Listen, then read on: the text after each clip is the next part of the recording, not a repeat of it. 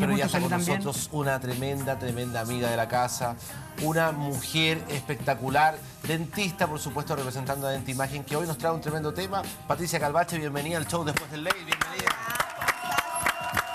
Hoy está con nosotros para hablar algo que a muchos de acá nos convoca, eh, es el daño de los cigarrillos eh, en nuestra dentadura.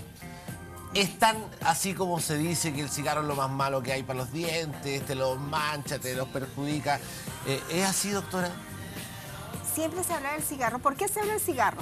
Fundamentalmente en la salud. ¿Con qué lo asocia? No, pero Con ¿con, qué lo asocia? Con cáncer. ¿En dónde? Al pulmón. ¿Qué más se La habla? nicotina, que es el tabaco, efectivamente, que es un estimulante. No, para mí los dientes negros. Sí, y en general siempre eh, se, Yo lo se ha visto deterioro, deterioro. el deterioro de... Piel, de dientes, de todo. Generalmente se asocia a enfermedades como muy graves, como dijeron, del cáncer, de eh, respiratoria, del pulmón, pero eh, el impacto en la salud bucal es impresionante. Eh, tiene que ver con una pérdida de bienestar, de calidad de vida, porque uno dice, bueno, ah, que me mancha los dientes, lo mínimo que te manche los dientes, que la nicotina te mancha los dientes. Te los Ah, desmancha, bueno, te los que, lava, te los limpia. que igual te, eh, el paladar te, te lo, te lo hace, pone un poco más blanquecino, lleno de manchas, las mejillas también se pueden manchar con el tabaco. Pero aquí lo que es importante que desde la litosis, que es el mal aliento que causa el, el cigarrillo, porque el cigarrillo concomitante con todas las bacterias y lo que implica fumarse esto que ustedes llaman pucho, entonces tiene, eso es lo mínimo, litosis, hasta poder ser eh, un, eh, un factor de cáncer eh, bucal. Bucal. Bucal. Entonces va de lo mínimo a lo máximo, ¿cierto? Doctora, disculpe, eso es lo que se le llama como vulgarmente, así como el doctor, o sea, el cáncer a la boca que le dicen, es es lo mismo, Bucal, ¿no? pues lo mismo. Sí, el Es que cáncer de la boca. Está muy rápido, Felipe, usted. Lo que pasa... No, no, Es no brillante, entendió, Felipe. pues no me entendió, porque la gente de repente no lo entiende así, pues. Sí, cáncer en, en labios, cáncer en mejillas, cáncer, por ejemplo, la gente que, que, Cáncer de mejilla. que- sí, y eso es toda la cavidad bucal. Pero eh, uno de los problemas que se ha notado más es eh, la enfermedad periodontal, que siempre hemos hablado acá que ustedes ya deben ser expertos en la enfermedad periodontal, que es la enfermedad de las encías. Y este es uno de los problemas más graves que es eh, sin ir al cáncer, que ya sería la enfermedad patológica, inclusive que ya eh, es uno de los factores de riesgo más importantes para el cáncer, el, el cigarrillo, unido con el alcohol. Entonces, nosotros no, no, no, no dimensionamos la gravedad de fumar y los que son eh, habituales fumadores, de que todos los días se fuman más de 10, 12, 13 No, terrible cigarrillos. Resulta Yo lo veo que... diario eso, doctora. Es, es muy fuerte el tema porque hay gente que se fuma no 3, 5, sino 10 cigarros y es mucho. Resulta que el cigarrillo eh, hace que se pierdan la capacidad del organismo de la boca para defenderse, porque las bacterias de la boca cuando para un fumador son mucho más agresivas. Porque eh, inclusive cuando una persona se hace una cirugía bucal o se saca simplemente un diente, si es fumador va a demorar su cicatrización. Mucho, se demora mucho la ¿Y cicatrización. por qué demora? Porque eh, los vasos sanguíneos no, no, no se estimulan de la misma manera de una persona que no es no fumadora.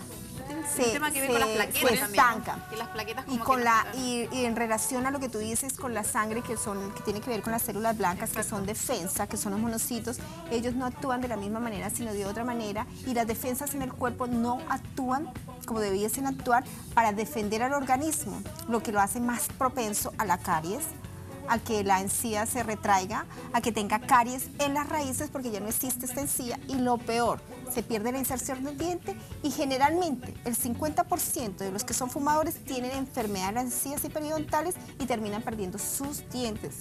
Doctora, disculpe, entonces en ese sentido... Vamos, dejó vamos pa' para eso acá no en fumamos. ese Todos sentido, mal ¿qué, ahora. qué le Dejó recomienda pa' usted a la, gente? ¿Dejar de una el cigarro o hacerse un tratamiento y paulatinamente ir Mira, dejando el cigarro? eh, ¿Se puede ser fumador y a su vez tener Ya, los pero puede dientes ser, como bien? puede ser que uno tenga, no? porque uno aspira de repente a tener esa, ese porcentaje mínimo, como cuando hay gente que se va a ver los pulmones, doctora, y ha sido fumador toda su vida y no tiene Pero nada en los pulmones. se ha comprobado y lo Pero hemos comprobado, lo hemos comprobado desde el punto de vista clínico de salud oral que el 50% de los fumadores tiene enfermedad periodontal, enfermedad de las encías. Ahora, pero eso... Ahora, si tú no puedes dejar el cigarrillo, tienes que utilizar unas normas muy estrictas de higiene oral. ¿Cómo cuáles? eh, cepillado, o sea, dental, estar higiene. asistiendo, eh, porque esto es una enfermedad crónica. Y, vuelve. Es más, las personas que tienen implantes y son fumadoras tienen la tendencia a perder sus implantes por, por el cigarrillo.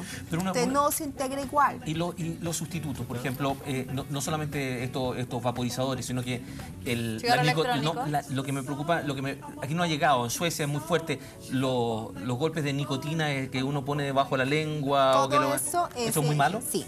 De hecho, ¿Por la, la, gente que. Yo habría pensado que la nicotina es como la cafeína. Que- Entonces, no, no, no, es que no. para mí lo que yo sé, que por ejemplo yo tengo un amigo que trae los, los cigarros electrónicos, él me dice, "Oye, lo que, lo que, lo que te mata es en el sentido del al- el alquitrán, lo que, el- como la, Lo que la- tiene el lo que que mata los sí. radicales libres. Pero no en sí el, el, ta- el tabaco, o sea, no en sí la nicotina. Pero la pipa- La pipa No, la pipa pipa. sí, porque esa, el- esto es sobre todo uno de los, eh, lo que más ha visto el cáncer en mejilla es esa, la que se La ponen en la mejilla, la concentración, La es una, es una eh, ocasiona riesgo para el cáncer de Y la de nicotina, mejilla. eso- esa- esas esas pastillas de nicotina ahí debajo, usted la, No, yo nada que tenga que ver con, con de todas maneras, la nicotina igual te mancha.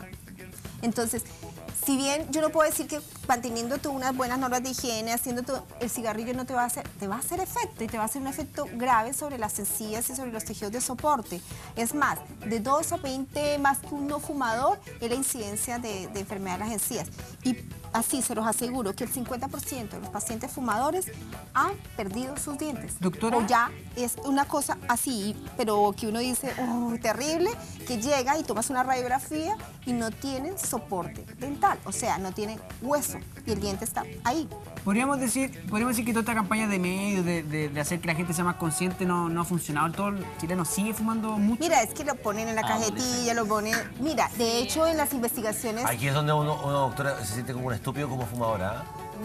No, y lo que pasa es que tú, tú lo- la gente lo asocia Uno como, compra como un ah, daño". no, es que pulmonar, pero No, yo voy, ver, no yo me fumo. pasa, y yo, Yo y pero me voy, relaja. Y, O sea, yo no, yo no lo puedo dejar. Por Todos dicen lo mismo. Yo no Pero creo que a uno mí me puede- relaja. Yo no creo que uno debería tratar a las personas que tienen adicciones como castigarla o creerle como estúpida. Y eso es lo que, por ejemplo, estamos haciendo con Ley de Tolerancia Cero y en realidad ha sido un error porque hoy día tuvimos 25 muertes cuando el año pasado sin Ley y Emilia teníamos 40.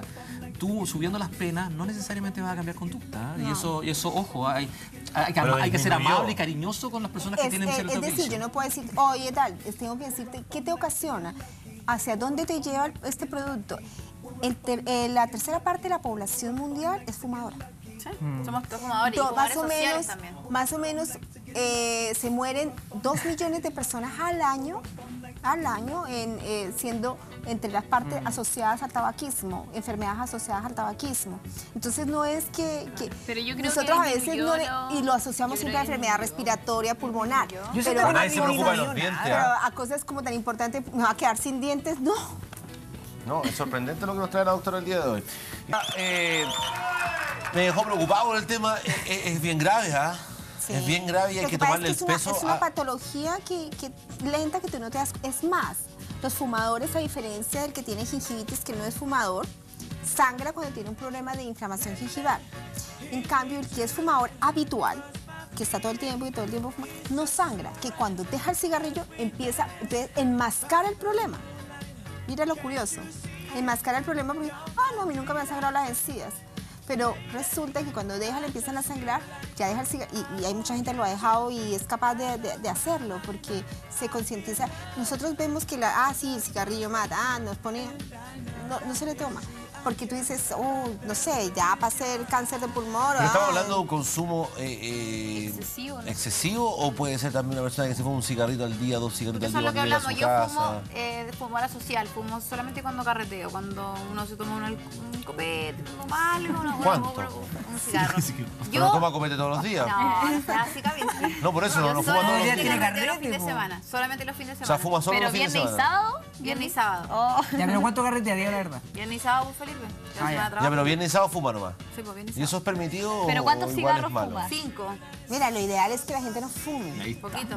Eso es lo ideal. Si tú me preguntas a mí, lo ideal es que no fumen. Independiente Porque, eh, de todas maneras, el cigarrillo Cinco causa, causa efectos Pero eres no hincha son de los sustitutos. O sea, tú no, no vas a No, obvio, para una persona que es fumadora y que y- y está buscando la manera de, de- Dejar. de- de dejar el cigarrillo, que haga todo lo que tiene, la hipnosis, el sustituto, todo lo que tiene que hacer. Además, que después vamos a, hablar de cáncer oral, es, una, es algo que puede incidir sobre el cáncer oral. Entonces, eh, no es como, ah, ya, cáncer, ah, respiratorio, ah, si me muero, me muero. Porque es lo que uno escucha a la gente, ah, ya, me tocará. Pero no, es tu tema de vida diaria, porque tus dientes se van a empezar a mover, tu hueso se va a empezar a, a- a perder su soporte y, no, y vas a estar unos dientes que no vas a poder ni siquiera morder eh, algo fácilmente y no es calidad de Pero si vida. No sé si darle un aplauso a la doctora o eh, dejó todos callados aquí. Es que todos somos Yo la apoyo, doctora. todos acuerdo. Eh, no al cigarro, No al eh, cigarro. es muy malo y le quiero dar un aplauso de verdad por el tema que nos trae, porque nos va a generar conciencia, lo que tenemos que generar en la gente que nos está mirando, Y conciencia con respecto al y- cigarro. Y en Dentimagen tratamos de educar en ese sentido y, y decirle a la gente periódicamente, si tú eres fumador, invitamos a la gente que si eres fumador, te hagas un chequeo, porque ese es otro, vas a carrete, tomas trago, eh, fumas, y a veces la gente, no, no lo digo por ti, pero a veces la gente se descuida de, de su tema de salud oral. Qué bueno que vayan por lo menos una vez al año y se hagan un chequeo de saber, oye, escuché algo del cigarrillo, vengo acá en imagen para que me digan cómo están mis encías, ya me preocupé, tomarme unas radiografías, quiero ver mi soporte de hueso. Dio, un tips muy bueno que hay que dejarlo en la gente. ¿ah? Eh, Uno está esperando que le sangre la encía para ir a verse la encía. Y el fumador no le va a sangrar la encía. No le va a sangrar fácilmente la encía, se enmascara el problema. Entonces, si yo escuché esto en un programa pucha que, que compartimos, que son tips importantes, ¿por qué no hacerme un diagnóstico y mirar cómo está mi salud oral en ese sentido? Soy fumador y escuché que quiero saber, tómeme unas radiografías, cómo está, puedo parar el proceso. Te lo aseguro que si a ti te muestran que estás perdiendo un hueso, dice que marque me dice y te aseguro que instantáneamente vas a dejar tu cigarrillo. Gracias, doctora. Nos vemos la próxima semana. Gracias a ustedes también, muchachos, por estar con nosotros. A ustedes por la sintonía.